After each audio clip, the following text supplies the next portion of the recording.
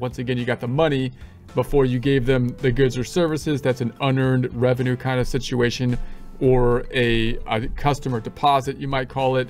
In, in other words, when you get the money, you should record it as basically a liability down here in unearned revenue.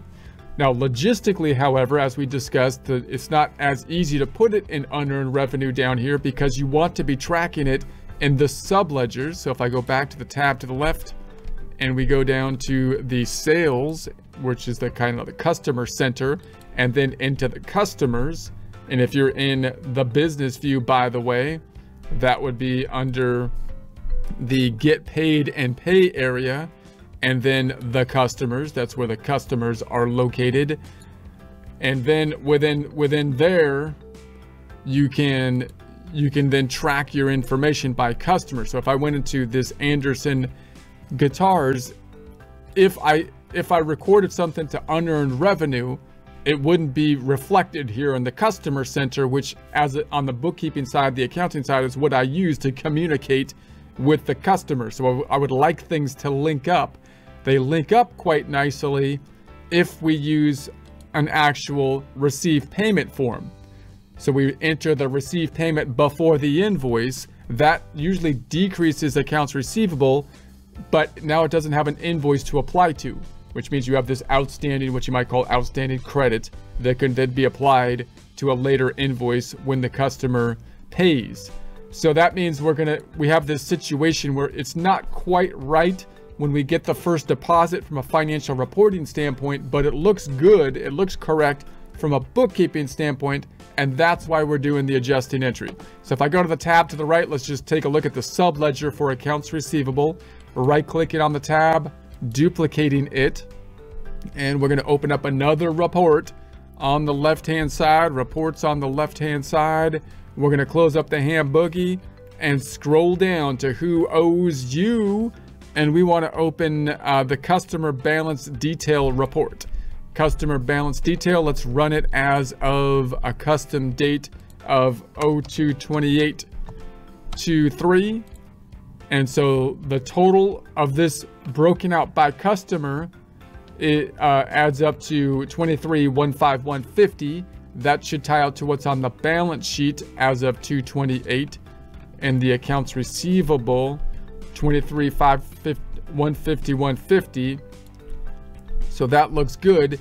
And the issue was that we had a couple that had this negative receivable you can't have a negative receivable for a particular customer because that means that would mean that we owe them money, which means it's a liability, not a negative receivable. Therefore, we did an adjusting entry for these two clients that had or customers that had a negative receivable for 450 and we increased accounts receivable over here we increased the accounts receivable for that amount if I scroll down and and we did that by the 450 and then the other side went to this unearned revenue the liability account. So we just properly recorded it as a liability instead of a negative asset account. So it's a little bit different than a book problem where you deal with unearned revenue in which case you're usually thinking about a situation where all the revenue that a company gets is like is from uh, unearned revenue, like a subscription model, in which case you would just keep on increasing unearned revenue when you you collect your your money on a subscription model and then you'd have to determine how much of the subscription had expired periodically at the end of a month or year decrease unearned revenue and then record the revenue properly for the amount that had actually been earned. In this case we're dealing with just unearned revenue for like a security deposit type of situation.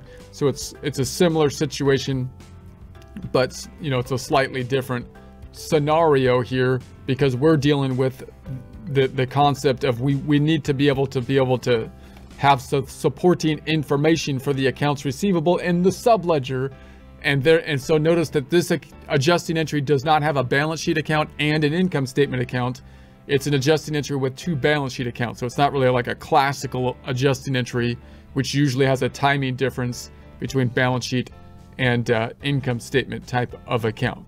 Okay, So that said, now we've done that, and I can see that over here in my sub ledger as well, because they forced me to to record something to a customer uh, whenever whenever I record something to accounts receivable. But I didn't want to record it to the actual customers in question, Eric Music here, uh, because that would add add it to the detail in their customer ledgers. Therefore, we created another account down here and just called it ZZZ, trying to put it at the bottom out of the way.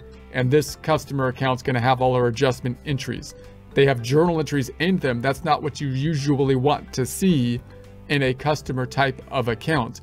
So that's why we kind of tried to bury it down here at the bottom because they're not going to match out. Usually you would see invoices and receive payments that tie out. And once they do, then this, this whole thing would kind of disappear. It wouldn't be on this report anymore. For example, here in this one and this one, you would expect it to tie out. It doesn't because we don't have an invoice and a payment. We have two journal entries. So it doesn't quite work the same way. That's why we put it into the account at the bottom. Now remember, if you don't want to do that, you could create another accounts receivable account, but you'd have to set it up as something other than accounts receivable type of account, like other current assets, so that you don't have the subledger related to it. Okay, so now we're just gonna reverse it as of March 1st, because remember the, cust the, the bookkeeping process is not wrong. Their process is just fine. It's just that we need to make it the financial statement reporting more correct as of the reporting basis on a periodic basis, monthly or yearly, in our day, in our case, as of February 28, the cutoff date. So then I'm just going to reverse it as of the first day of the next period. Note, all reversing entries are going to be like the first day of the next period. I'm not going to try to try to get it to be more correct for a longer period of time. In other words, you might say, hey, why don't I just figure out when the invoice is actually issued in March for these items. And then if the invoice was entered in March 15th, I can do the reversing entry as of March 15th, and then the statements will be more correct for 15 days of March.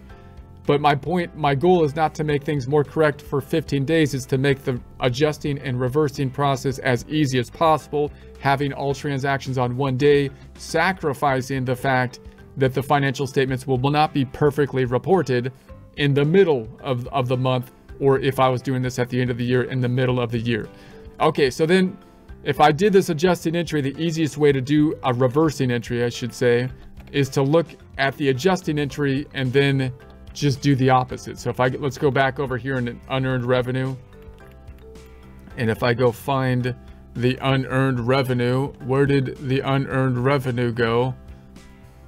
It is right there. If I go into it, then I could, I could then just say, okay, let's go into that journal entry and say, there's the, there's the transaction. I'm just going to do the exact opposite. So you might even take a screenshot of the adjusting entry and then reverse it. This one's fairly basic. There's only two accounts affected. I'm going to use a journal entry to reverse it as opposed to uh, using the register because of that issue with the name needing to be put in place for the accounts receivable. So I'm going to close this out.